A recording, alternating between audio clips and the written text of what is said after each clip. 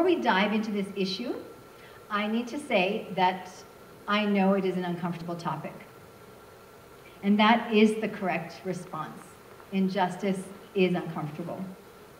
However, as free adults, I feel that the very least we can do is talk about it.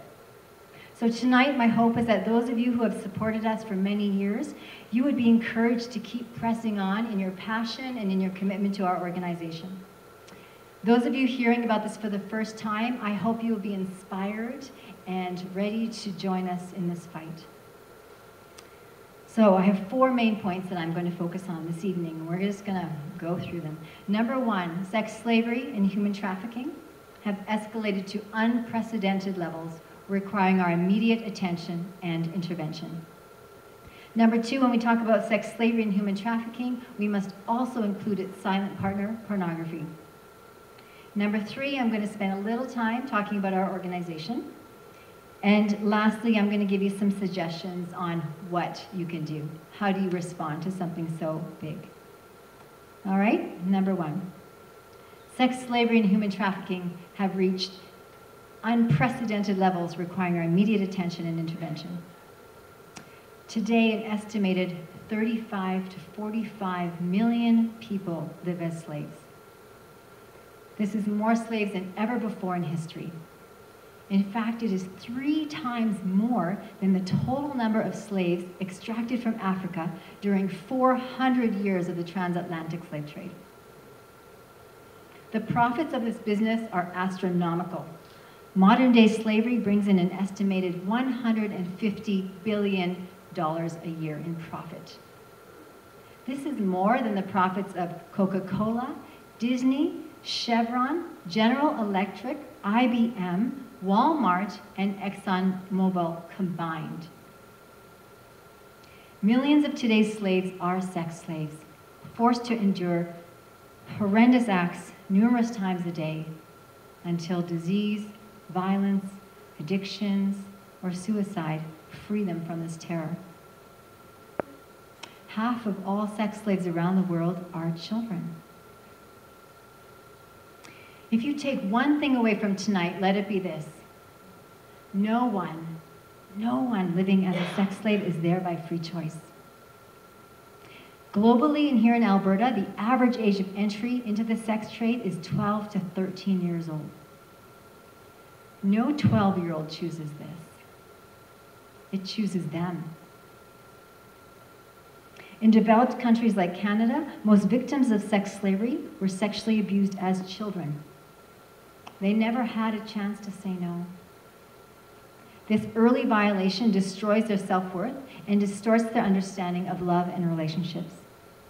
This makes them easy targets in their preteen years for predators who seek to manipulate and profit off their young bodies. This really hit home for me um, years ago when I was in a room full of women who are participants, and we were doing the 12 steps together, and they were all one by one, sharing their story. And it hit me right there. I was the only one in that room who had not been sexually abused as a child. I didn't even know that was something I should be thankful for. And I feel that was the main reason why I was staff and they were participants. In underdeveloped countries, a complex web of push and pull factors contribute to these victims' lack of choice and inability to protect themselves. Again, when I was in Nepal um, starting Global Wonders, we started with a group of, of women. One girl was so timid, so terrified, she sat underneath the table and could not even say her name. So, how and why does this exist in our sophisticated modern world? Sadly, friends, it's basic economics.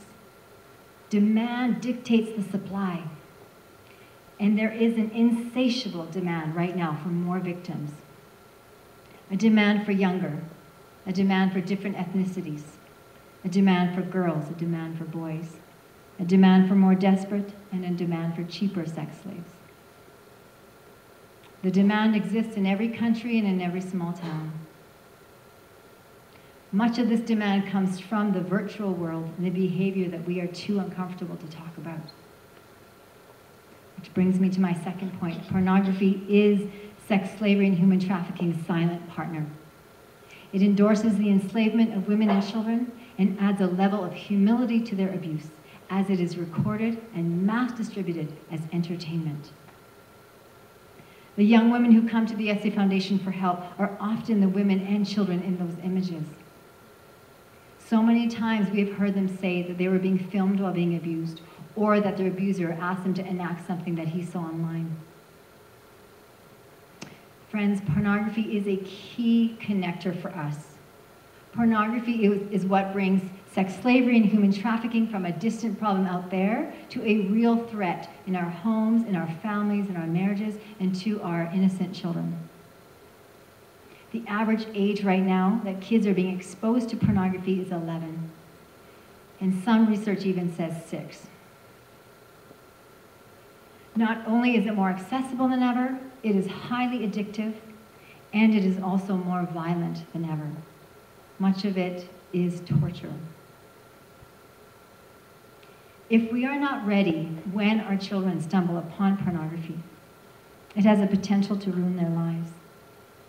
You see, pornography creates victims on both sides of the screen. I'm going to say one more thing on this topic before we move on. And this is to the young people in the room. I'm thrilled you're here. I'm very impressed that you're here. I need you to take a message back to your friends for me.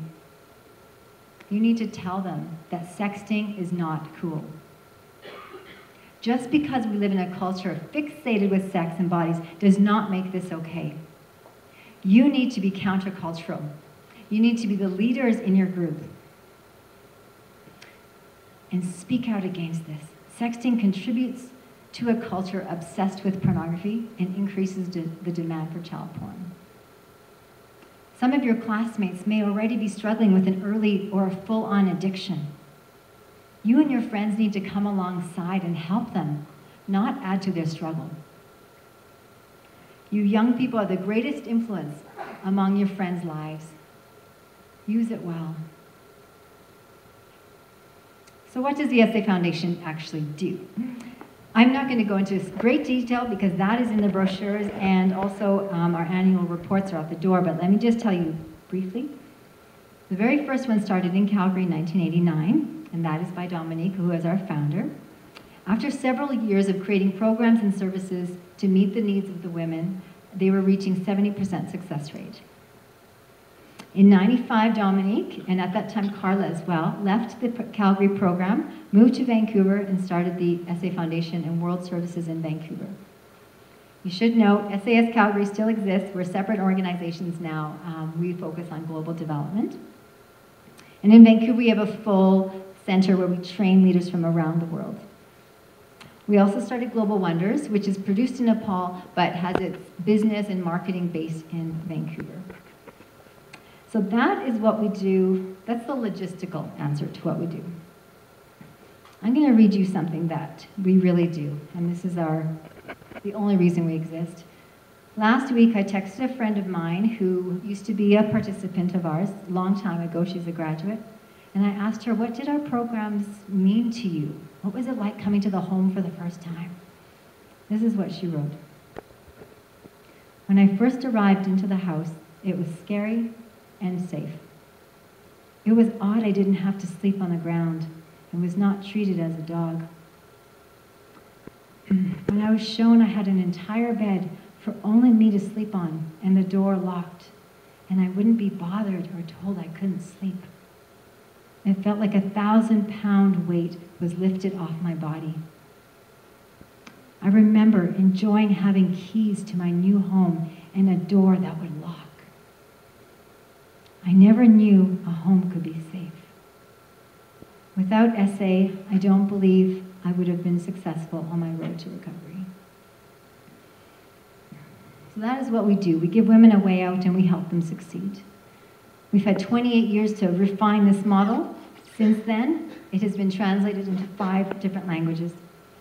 Dominique and Carla and another uh, member of the management team, Steve, who's not here tonight, they travel, not only do they oversee the project in Vancouver and the business, they travel around the world giving training to new teams. To date, they have trained 15 teams on our organizational model. We estimate that approximately 1,700 women and 400 children have been freed from slavery through our programs. The cool part is in the next five years, we expect to double this number. But we can't do it alone. We do need your help. Tonight's purpose has been to inform you and now to invite you to do something. So, what will you do with this information? What will you do to protect the children in your life from sex slavery's harmful side effects? What will you do to protect the children who fell between the cracks, whose parents could not protect them for one reason or another? It is up to us as free adults to step up and do everything we can to rescue, protect, intervene, love, and invest in every one of these precious lives so they can reclaim a life of dignity and freedom. Now, I've written out some practical steps for you guys because I know it's a lot of information and it is hard to know what to do. So I've given you eight suggestions. I want you to try and check off one of these items before you leave here. And I want to challenge you to check off one more within this next month. These are practical suggestions. Everybody can do them. We must do them.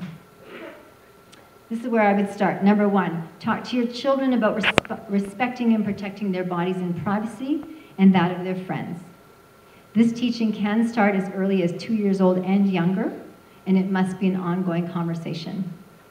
On the other side of your um, insert is a reading list. The book Diapers to Dating is perfect for number one.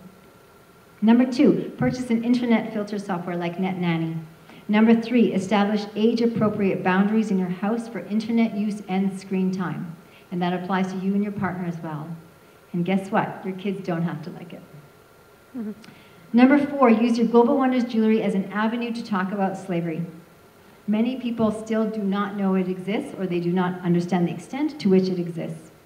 Tell them your jewelry is made by survivors and invite them to sponsor or support what we do. Number five, help us rep the movement by taking a selfie with your Global Wonders jewelry, post it and tag us at hashtag Global Wonders or hashtag SA Foundation. And if you have no idea what I just said, go to the next point. That's okay. Some of you know what a hashtag is and how to use it. It's cool. Number six, follow SA Foundation on social media and invite your friends to do the same. The links are there. You can like us and follow us. Number seven, partner with the SA Foundation by becoming a monthly donor. In addition to overseeing the eight global projects, our management team are literally working around the clock to meet the demand for their training. They just finished training a group from Ajax, Ontario, and are halfway through another training with a group from Atlanta, Georgia. Last month, they gave the second level of training to a team from Toronto where there's a major sex trafficking problem. And they're also exploring projects in Victoria, BC, and Cameroon, Africa. Lastly, it is hard for me to ask you to do one more thing, but on behalf of those who cannot speak for themselves, on behalf of the number of women that we turn away because our beds are full and our rooms are full, I do have to ask you to do one more thing. In addition to buying jewelry tonight, I'd like to ask you to consider making a donation. The reason is this. Right now, the sales of the jewelry covers the cost of the business, but it's not enough yet, revenue, to cover the cost of our projects. So donations go directly to our projects. And um, our goal tonight is to fund a small addition to our Nepali project. Last year they began accepting women with children and no surprise, they have quickly reached capacity. And so they needed a separate childcare room during the day for the kids. And we believe in keeping children and moms together as moms recover. And so we always have childcare on site. And so rather than send the kids to another room, they're asking to um, convert the rooftop to a childcare room. And this cost would be $5,000 to complete this room and furnish it. And I'd like to ask for your help to do that tonight. In case some of you are wondering, like, how many people are here?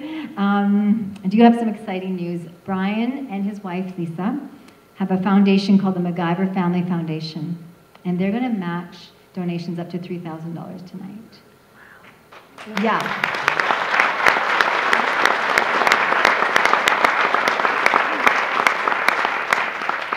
So please do what you can.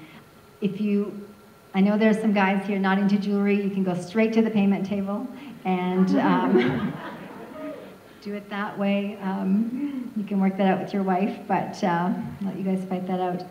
But thank you for listening. Thank you for your courage and your willingness to care. I know it's a big topic. We have no choice but to engage this. The lives of the kids, truly, and ours as well, is at stake. So thank you for your courage, and I do believe this is a battle that we can win, and that we can see an end to slavery within our generation. Thank you.